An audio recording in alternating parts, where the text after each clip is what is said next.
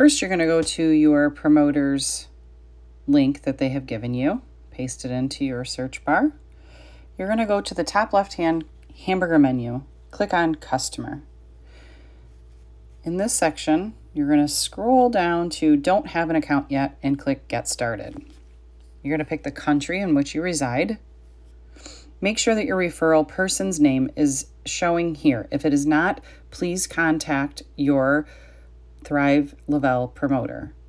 Click Continue. Fill out your information and your phone number. You don't need to add your Instagram or Facebook username, but you can if you want to. Add your email here. Obviously, that one's still in use. Add your username that you choose here.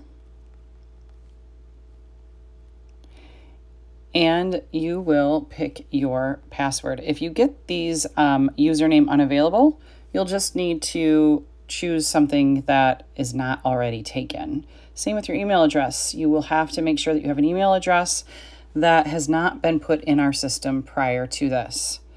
Go in and create your password.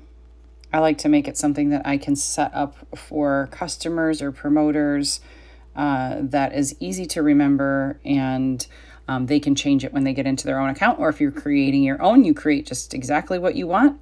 Then click Create Customer Account and you are all set and ready to go.